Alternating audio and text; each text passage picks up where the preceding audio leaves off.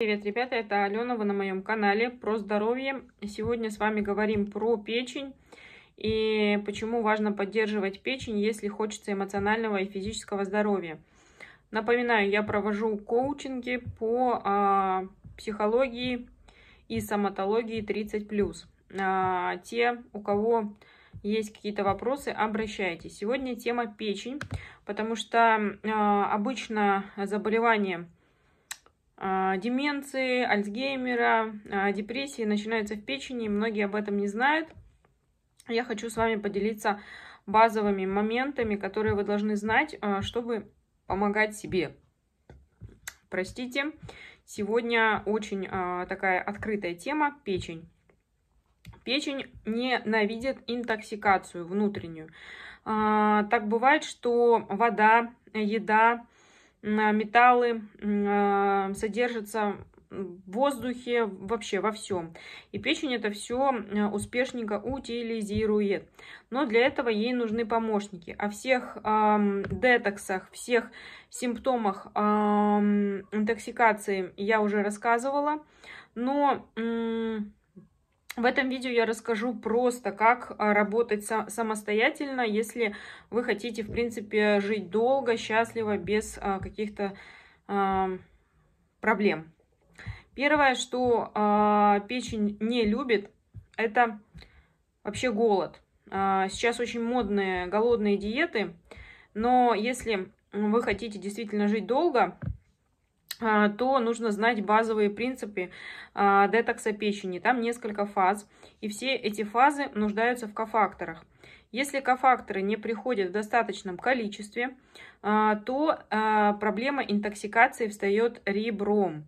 То есть не потому что гладиолус, а потому что не хватило субстрата на детокс. Это элементарно. И а, про а, прям суперпродукты для печени. Я считаю, такого а, ну, есть, но частично это очень индивидуально. Овощи, зелень, тыква может помочь, но кто придерживается... У всех есть разный стиль питания. Я напоминаю, что то, что полезно одному, не полезно вам. У кого-то больше кето, у кого-то палео, у кого-то какие-то другие моменты. А, напоминаю, что печень будет а, действительно страдать, если у нее не хватает помощников. И здесь мы говорим про... Сейчас демонизировали полностью фрукты. Я считаю, что зеленые яблоки, а, они действительно необходимы. То есть можно позволить себе что-то из фруктов, ягод, из фруктов, например, э, для печени более безопасны яблоки, там две э, штучки где-то в день. Облепиха очень круто работает. Э, облепиха содержит такие микроэлементы, как медь, кремний, железо, которые необходимы организму для нормализации крови, улучшает работу печени. Дальше, свежевыжатые соки печень не любит. Другой момент, зеленые травяные чаи, возможно. А, минеральная вода индивидуально, но она очень помогает нормализовать водно-солевой баланс и выработку желчи. То есть напоминаю, что если есть проблема с желчным, а, то ЖКТ весь страдает. Следующее кисломолочные продукты. Пусть сейчас демонизируют все молочные продукты, но я напоминаю, что бифида и лактобактерии, они очень нужны для вашего кишечника, а, в зависимости откуда вы их берете. Я рекомендую покупать а, в капсулах микрофлору и делать домашний кефир с пробиотиками. А, орехи и семена богаты ненасыщенными жирными кислотами, магнием и кремнием. И а, омега-3 жирные кислоты снижают уровень холестерина в крови. То есть тут куча всего.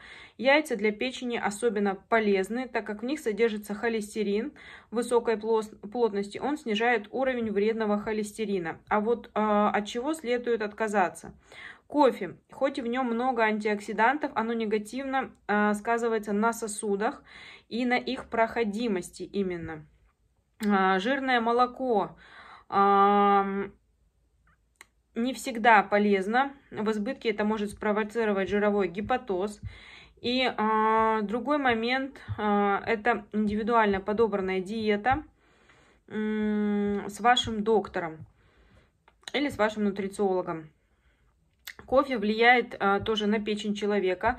И многие пишут о том, что это полезно, профилактика рака печени. А, улучшает пищеварение, желчегонный эффект, очищение организма, влияет на липидный профиль. Но, напоминаю, а, есть а, кофе с серьезнейшими токсинами. Есть кофе, который повышает склонность к заболеваниям. Есть кофе, который и так у людей истощенный на кальций, магний, еще больше это все выводит. И напоминаю, что Кофе э, не очень хорошо влияет на женщину в менопаузе. Э, иногда, э, если есть жировой гепатоз, то можно говорить с доктором про кофе. И доктор вам подскажет лично вашу историю.